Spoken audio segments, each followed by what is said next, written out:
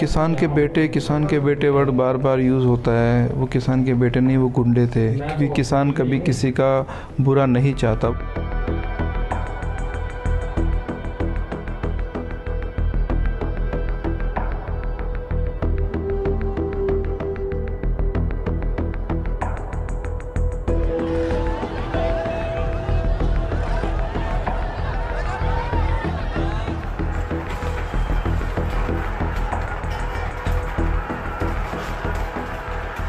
प्रदर्शन वगैरह तो बहुत अटेंड करे हैं और मैं कम से कम मेरी 53 थ्री ईयर्स ओल्ड मतलब हूँ मैं। एज मेरी तिरपन साल की है।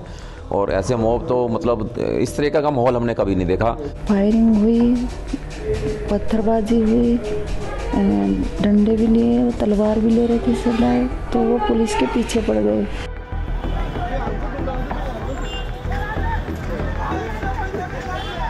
अंदर से जब मॉब बाहर की तरफ़ भागा है तो वो जो मोह भाग रहा था उनके हाथ में जो कुछ भी था और जो फोर्स अंदर जा रहा था उनके ऊपर उन्होंने लाठी डंडे और तलवारों से हमला शुरू कर दिया।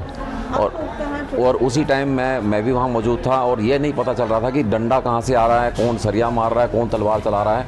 और काफ़ी डंडे मेरी पीठ पे लगे, मेरे कंधों पे लगे, मेरे हाथ पे लगे, जहाँ से मेरे को इंजर्ड हुआ है नी की तरफ़ से।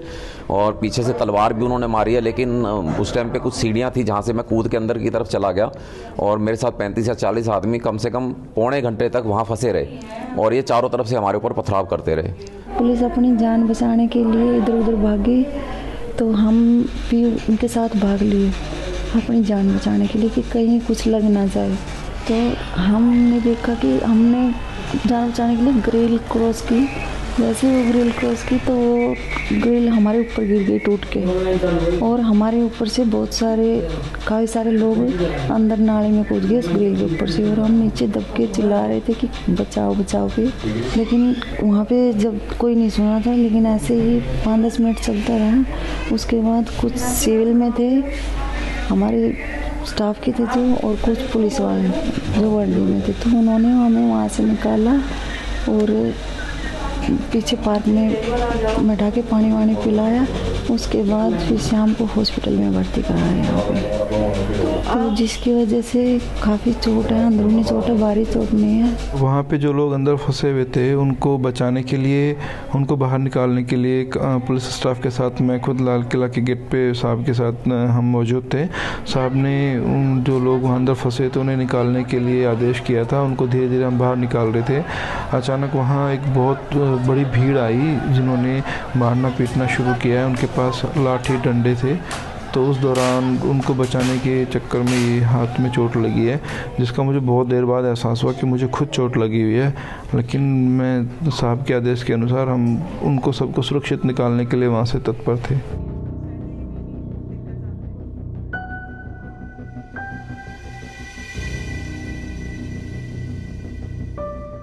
एक्चुअली में जब हम अपनी फोर्स को लेके हमारे जो सीनियर्स थे ऊपर रैम्पट पे मौजूद थे, उन्होंने हमारे को अंदर बुलाया कि आप लाल किला परिसर में अंदर की तरफ़ आइए अपनी फोर्स लेके। तो काफ़ी अफसर्स अपने अपने, आप अपनी फोर्स को लेकर अंदर की तरफ़ चुपचाप जा रहे थे और जो भी प्रदर्शनकारी प्रदर्शन कर रहे थे, उनको हम समझाते हुए जा रहे थे कि आप लोग जो है शांति बनाए रखें, प्रदर्शन मत करें, इस तरीके से हिंसक मत हो।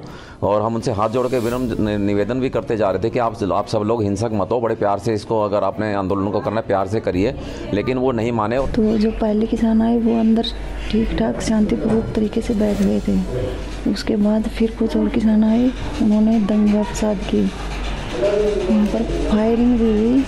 हालाँकि पुलिस शांतिपूर्वक खड़ी थी, किसी को कुछ नहीं कह रही थी। फायरिंग हुई, पत्थरबाजी हुई डंडे भी लिए, तलवार भी ले रहे थे सलाए तो वो पुलिस के पीछे पड़ गए।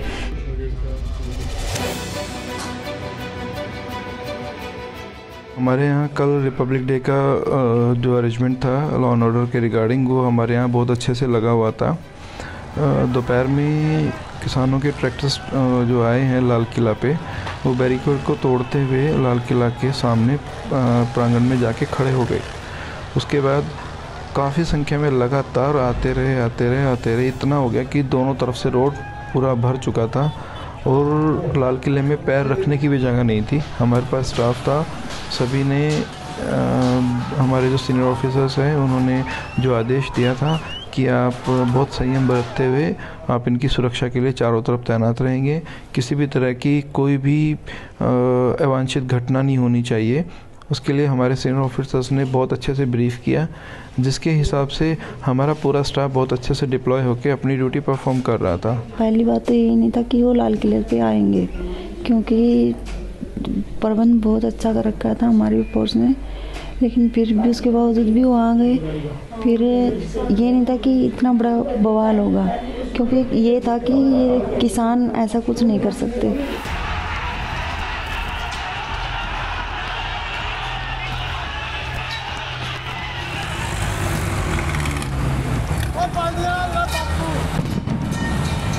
अचानक उनमें से कुछ लोगों ने किसान नहीं कहूँगा उनको, मैं उनको गुंडे कहूँगा, क्योंकि उन लोगों ने अचानक से उपद्रव शुरू किया।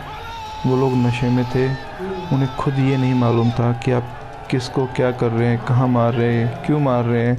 उनका कुछ मोटिव नहीं पता, उनका कोई लीडर नहीं था, उन्होंने अचानक से हमला शुरू कर दिया। ये था कि ये किसान ऐसा कुछ नहीं कर सकते, लेकिन वो किसानों के साथ साथ कुछ और दंगेबाजी भी थे।